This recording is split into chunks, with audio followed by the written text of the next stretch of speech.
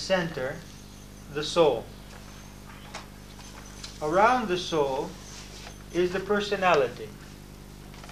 Around the personality is the belief system that is in a certain way, while, while incarnated, apparently the soul is limited by the personality, and the personality is limited by the belief system.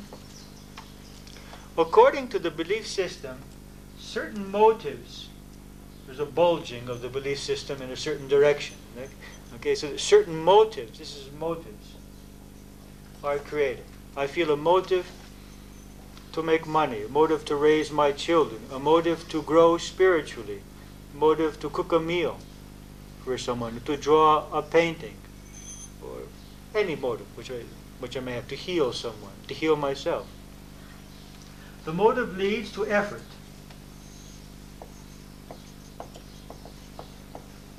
And the effort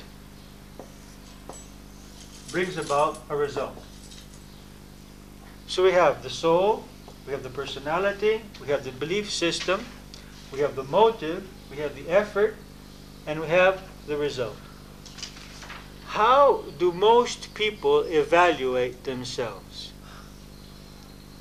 Most people evaluate themselves on the effort, but even more importantly, they evaluate themselves based on the other person's opinion of the effort.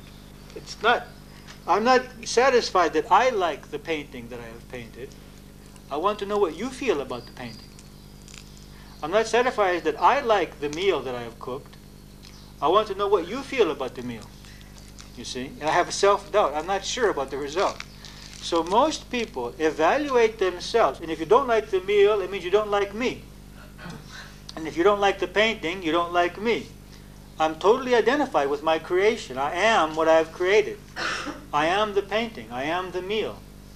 And so your rejection of that is a rejection of me directly.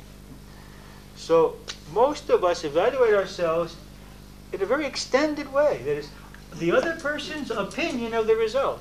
But that's not enough because with our subconscious programming, we have our own opinion of the other person's opinion of the result. because you remember how distorted we see things, and the other person may like it, but we say, ah, you don't like it. You're just telling me that. You're just trying to be nice. Yeah. So we can't even believe that he likes it. So we have our opinion of his opinion of the result. So we evaluate ourselves in three ways our opinion of the result, his opinion of the result, and our opinion of his opinion of the result. How can we really evaluate ourselves? In two ways only. Spiritually, we are this soul and we are divine, and there's no way that we can lose our self worth.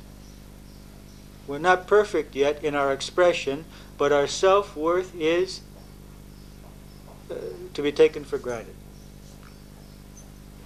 But if you want to find another method, criteria for self evaluation, let's evaluate then the motive and the effort, and not the result, and not the other person's opinion of the result, and our, our opinion of his opinion of the result. So it's like what we heard as children all, all our childhood years, what they told us, but no one ever believed. It doesn't matter whether you win or lose, but how you play the game. They told us and they told us, but no one ever lived it. I mean, they gave us a double message. Is they told us it didn't matter whether you won or lost, but every time we lost, we didn't get the same, same love and the same respect. So, what is important if we want to evaluate ourselves in some way is to evaluate are my motives, were my motives pure? Was my effort the greatest effort which I could make at that stage of my evolutionary process? I see many parents who, in later years, begin to understand their own psychology and the psychology in general of persons differently. And they see how many, quote, mistakes they may have made and feel guilty. And it's wrong. Because they did, at every point of that evolutionary process of raising those children, exact with the motive of their motive was always to help that child, and they did what they did with the knowledge that they had. The motive was pure, and the effort was the best they could make. There is no reason for guilt. And this is true for every effort that we make in life. So we, we should ask only two questions. Were my motives pure? Was my effort the best I could do at that time? Then let me accept myself in this situation. Let me release this guilt. Let me release this self rejection for this result. And let us begin to let go of all of this attachment to what other persons think.